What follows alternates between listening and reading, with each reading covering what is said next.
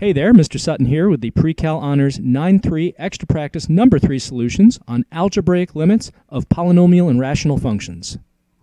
On this one, we're trying to find the limit as x approaches 0 of this crazy looking expression. So looking at all these types of functions, we've got, let's see here, cosine, we've got e to the x, those are both continuous functions. We're dividing by 2e to the x, which we know can't have a value of 0. Um, so this is one big continuous function, which means that the limit value and the function value, what I get by just plugging 0 in, are going to be the same thing. So I'm just going to go ahead and plug 0 into this because these functions are safe to do so. And now that's going to come out to, let's see here, cosine of 0 is 1. e to the 0 is just 1 times 3 is 3, so we're adding 3 up there. And down here, this is really 2 times 1, so just 2 for a grand total of 4 over 2, or just simply 2, giving me choice C. For this problem, they're defining our function as x minus 9 over radical x minus 3, and they want to know what limit as x approaches 9 of f of x is equivalent to. So you'll notice that if you plug in a 9 right away, you get 0 over square root of 9 minus 3, so 0 over 0, which of course is no good. So they're asking us to do some kind of algebraic manipulation on this thing so that when I go ahead and plug in 9 again, I'm not going to get 0 over 0. Okay, so taking a look at my answer choices here, um, there's, there's a few where you don't get 0 over 0 if you plug in 9, so that by itself is not enough to help us. So what do they want us to do algebraically? Well, there's a trick here. Notice that we've got a radical in the denominator, and you were probably taught a long time ago that we don't like radicals in the denominator. We want to get rid of them. The only way to do it when you have two terms is by multiplying the numerator and denominator by something called the conjugate of the denominator. It's basically going to be the same stuff you have in the denominator, only opposite sign in the middle. So I'm going to multiply numerator and denominator by radical x plus 3. Now, the reason this is going to work out I mean, if I just rewrite this fraction, nothing special is happening in the numerator other than these both get parentheses so I don't lose anything. But in the denominator now, you're basically doing a minus b times a plus b, uh, which always gives us a squared minus b squared. So you're, you're essentially doing radical x squared minus 3 squared, or just simply you get x minus 9. No radical. So that's good news. But there's more good news x minus 9 and x minus 9 are going to cancel out, leaving us with just the limit as x approaches 9 of radical x plus 3. And you actually could go ahead and solve it, but they didn't ask you to. Um, they just actually gave you an answer choice that has this in it, which was choice B. For this problem, we're trying to find limit as x approaches 0 of this rational function. Now just mentally plugging in 0 real quick, you can see that you're going to get 0 in both the numerator and denominator because all the terms have x's in them, so they all get zeroed out when you plug in 0. So that means we're going to have to do some factoring here. Well, since these all have x's in them, we can factor an x out of everything. So in the numerator, I've got x parentheses 7x to the fourth plus 5x plus 12. Doing the same thing in the denominator, that leaves me with x times parentheses 3x to the fourth plus 4. And now those x's can easily cancel out, leaving us with, well, just whatever was in the parentheses. At this point, now that I've canceled out the thing that was giving me 0 over 0, I'm going to go ahead and plug in 0 again to see what happens. When I do that, I'm zeroing out everything except the constants at the very ends here. So we end up with essentially 12 over 4, which we can reduce to 3 to match the answer choice C.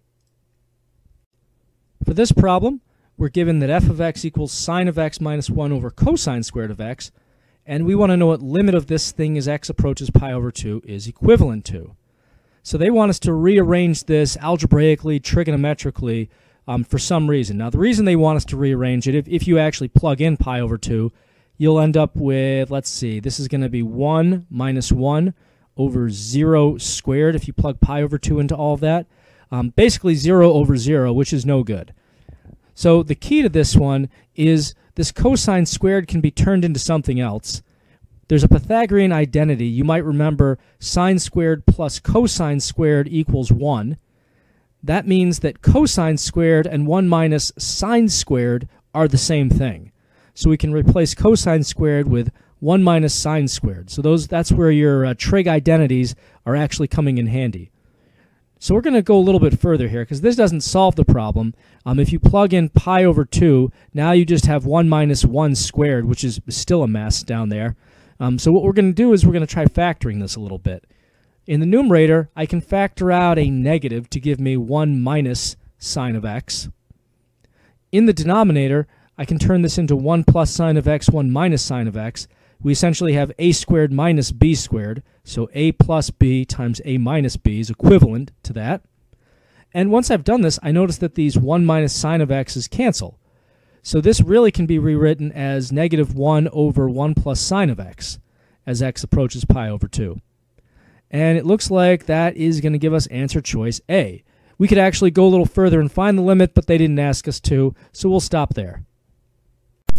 For this problem, we have a function defined by this complex fraction, and we want to know what the limit as x approaches 1 of this thing is equivalent to.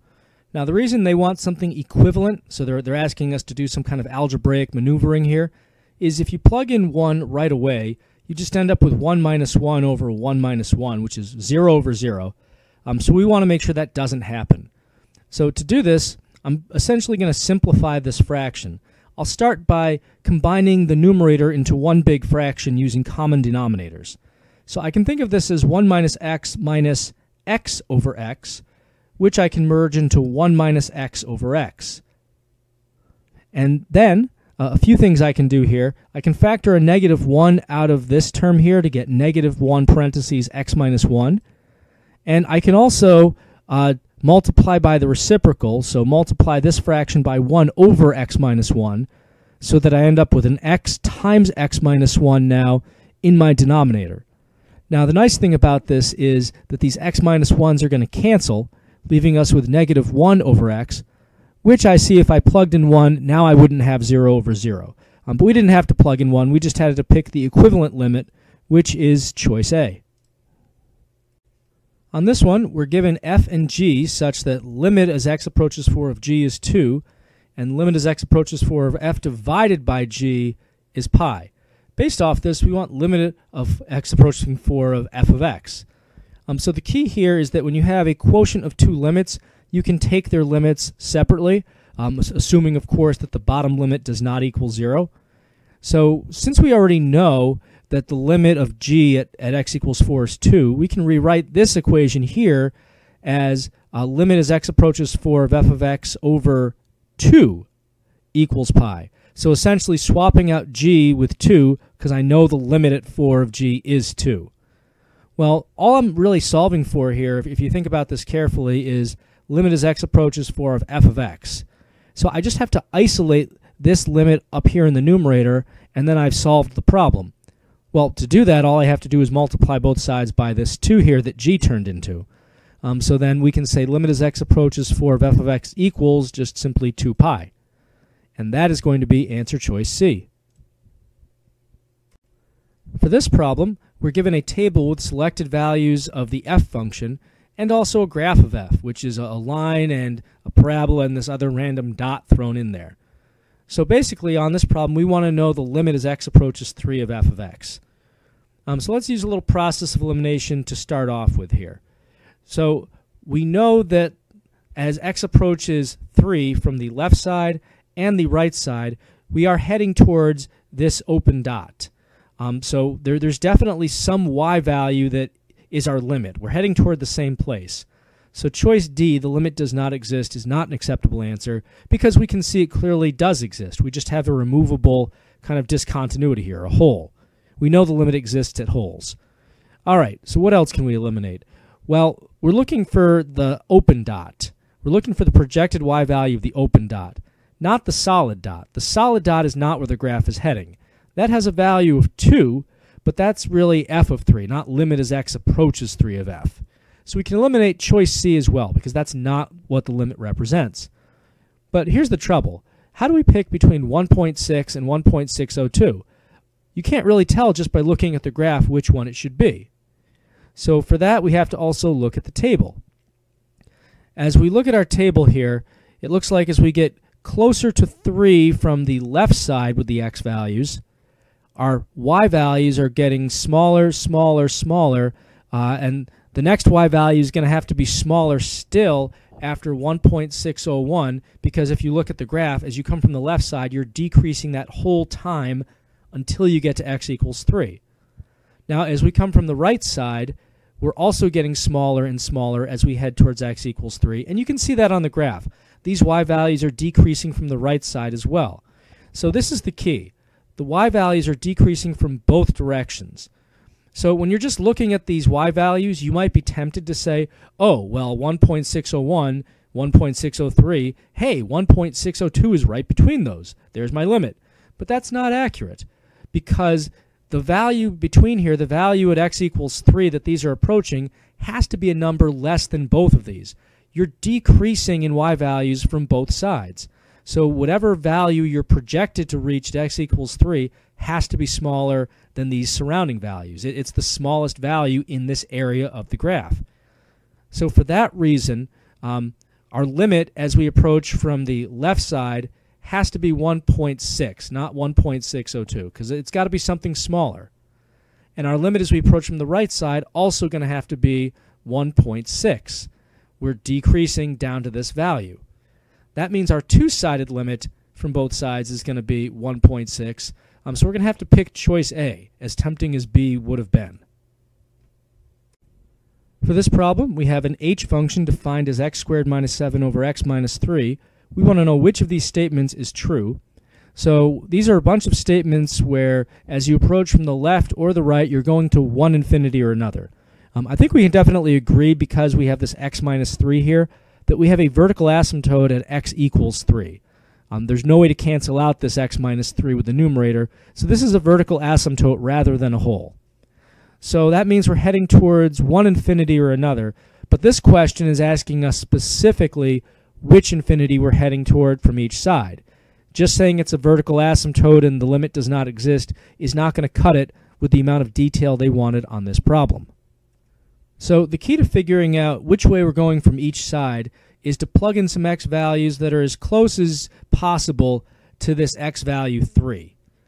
Um, although that's not going to tell us necessarily where the graph is going because you could always move closer in, it, it's going to be a pretty good guide um, because because you're going to infinity in one direction or another as you get closer to 3, um, that means you're going to be rising very, very steeply. So no matter how far above or below the x-axis you start, as you get closer and closer to 3, eventually your function is going to show its true colors, and you're either going to be very positive or very negative for your output, depending on which infinity you're heading towards.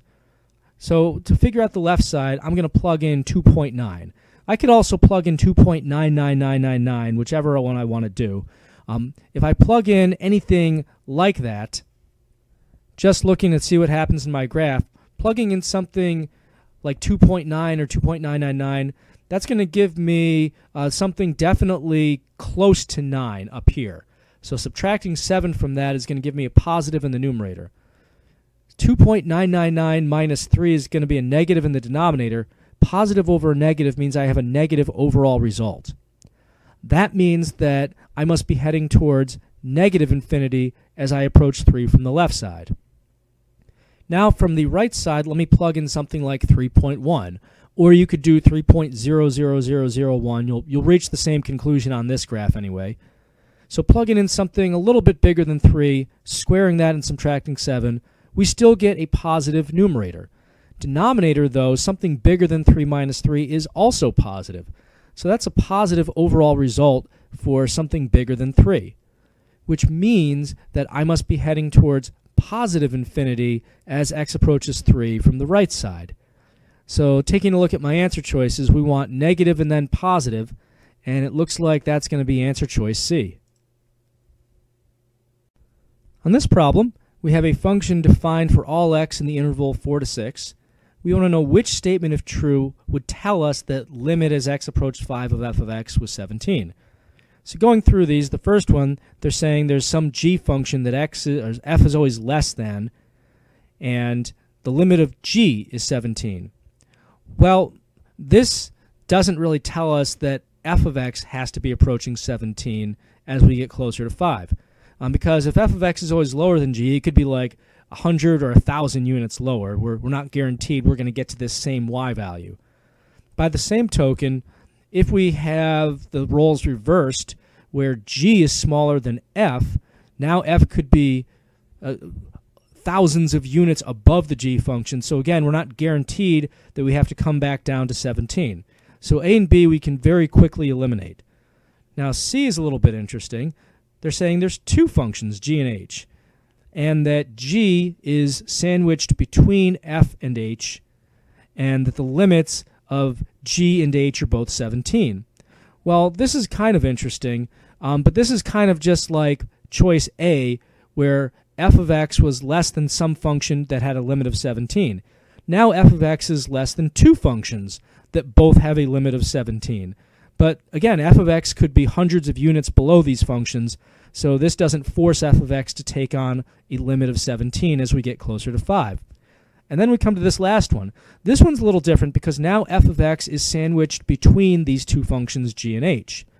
So if f is between g and h on this interval here, and we're finding the limit at, at some value that's on that interval. If we're told that these two functions are both approaching 17 and f is guaranteed to be between them, that means that f has to also be approaching 17 at whatever x value those other two functions were approaching 17 at. Um, so by the squeeze theorem, this is using the squeeze theorem of calculus or the sandwich theorem, we're guaranteed that f sandwiched between these also has to reach 17 at that exact, or it has to approach 17 at that, that x value. So then, when all is said and done, that ends up being choice D. On this problem, we're given the function g is this rational function, h is this other rational function, and then there's a third function, because you don't already have enough to worry about, f, that they're telling us this is between the g and the h functions on the interval from 0 to 5. So what's the limit of as x approaches 2, which I'll note is between 0 and 5, what is the limit as x approaches 2 of this f function? Well, they don't really tell us much algebraically about what f is doing. We know a whole bunch about g and h. The only thing we know about f is that it's between g and h. So really, there's nothing else we can do except find the limit of g and h as x approaches 2 and hope that whatever numbers we get out of that give us a little bit more clarity about f, which has to be between g and h. So let me start by taking limit as x approaches 2 of the g function. So to do that, I'm just going to uh, plug in 2 for all the x values here. There's nothing I can cancel out, so we might as well just plug in at this point. So that's going to give me 14 minus 26, which is going to be negative 12 over negative 3. So that's 4. All right, so let's see what happens with h now if we take that limit at 2. So limit as x approaches 2 of h, plugging in 2 for those x values. We end up with, let's see here, 6 plus 14 is 20, 4 plus 1 is 5, 20 over 5 is also 4. Well, that's interesting. So this is actually very helpful. We know that f of x is always between or equal to g and h for all values between 0 and 5. So that means that if g and h have the same output, the same limit on this interval here, that means f, which is sandwiched between g and h, must also have that limit. It has no choice but to have a value of 4 because it's always between or equal to these functions. So by the squeeze theorem, that's what we're using here. By the squeeze theorem, the limit as x approaches 2 of f of x must also equal 4, giving us choice B. On this problem, f is some function of x, and the value as x approaches a of f of x can be found using the squeeze theorem with the functions g and h. All right, they're giving us that this is a fact. So based off of that, which could be a graphical representation of these three functions, f, g, and h? So basically, they're looking for a graph that demonstrates the squeeze theorem in action. Okay, um, so this means that at least near the x value a, f has to be between the g and the h functions. So sandwiched between them be near x equals a. So looking at our graphs here, Uh, graph A, f of x, as we get closer to A, is definitely not sandwiched between the the h and the g function, right? It, it, it crosses them, but it's not really trapped between them as we get closer there. So A is no good. With B, it, it's kind of sandwiched between them as we approach from the left side, but then the right side, the f function escapes. The f function is this uh, this bolded line here. The f function escapes and is no longer sandwiched between coming from the right side. Um, so B is also not really a good choice there. C, we're definitely between the two functions, so we'll leave that in the running. Um, although we're not as as as close together as I would like. With D, we're also sandwiched between the two functions throughout the whole course here. Um, so D is also an acceptable answer at this point. So it's A and B that we're eliminating. But we can go a little bit further. The squeeze theorem only works if G and H, the two functions that f is between, have the exact same limit. Otherwise, we can't really nail down what the limit of f is other than saying it's between the two limits of these functions. Um, so since G and H have to have the same limit for the squeeze theorem to do its thing, that means that choice C, where H and G are so far apart here, is not a good candidate for demonstrating the squeeze theorem. So we can rule that one out. Choice D, on the other hand, H and G clearly equal the same thing as you get closer to A. Um, so we can definitely figure out and pinpoint f of x using the squeeze theorem on choice D. So that's the answer choice we're going with.